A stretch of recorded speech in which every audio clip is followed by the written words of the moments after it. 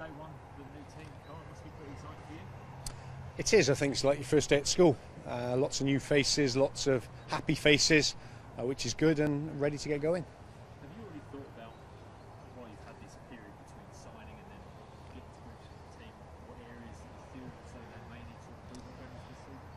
Uh, yes, um, in theory, but it's easier said than done. I, I want to have a look at the guys that uh, I've currently got in the squad and on scholarship deals because I think I, I don't want to miss any player out that I think can help the football club. Obviously, we've uh, got a, a lot of wonderful young players here, so it's important I look at them as well uh, before I make some other signings. And there'll be target areas that I've identified, which I've let Gavin and John know about. And you know that takes time; it doesn't happen overnight. So uh, we are looking to strengthen, but I'm also looking forward to getting in amongst these boys as well.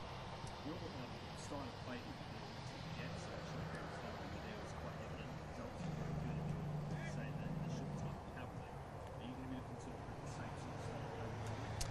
Uh, yes, uh, I think th- there will be certain little characteristics within that that change based upon the, the personnel that we currently have on the roster. Um, the additions of maybe a couple more players will allow me to implement that a little bit easier or a little bit more. Um, but I won't go away from my fundamental beliefs of how I want the game to be played and how I want the style of football to be played. If you look at the, s- the way the squad finished last season, an area that they've lost players is the spine.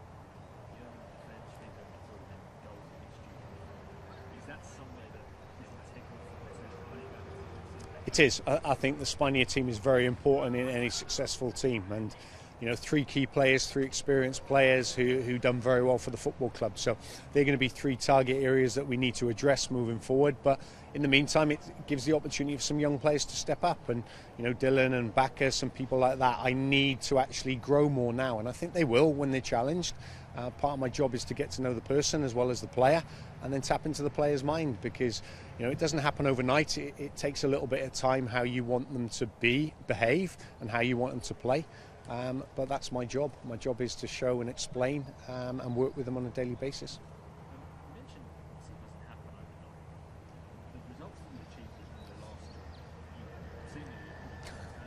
Do you kind of look at that as, as say that's that's normal going into a new job like this, or are you giving yourself time as well as players? It's a really good question and a good point. Um, I don't know is the answer. Um, what I do know is that confidence does amazing things to players and to teams. And you know, part of my job when I went to Newcastle, and it'll be the same here, is to try and instill confidence and in belief. You know, if you get the the, the small details correct, then obviously the, the bigger picture stuff becomes more evident. And, you know, I'll, I'll start bit by bit, brick by brick. Um, but as we go along, there'll be challenging periods without a doubt, as I know.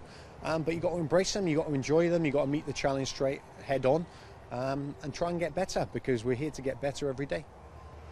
The last couple of managers that have been the club have all said straight away that they, they get a sense of just how big this club is. Have you noticed that in the few days that you've been so far? I have, yes. The football club's massive, and you know, there's there's two ways of looking at it. You can say it's really big and be fearful of it, or you can say it's massive and be want a part, be part of something that you want to change, move forward, and, and get back to the success of what they had previously. And I look at it as a challenge. I want to embrace the challenge. I've challenged the players, and I will challenge the players to embrace that challenge because whatever football club you go to and you speak to players, they, they all want to say they want to be at big clubs. Uh, there's an opportunity here for players that are at a big club to embrace that. So why be fearful of it? Okay, all done.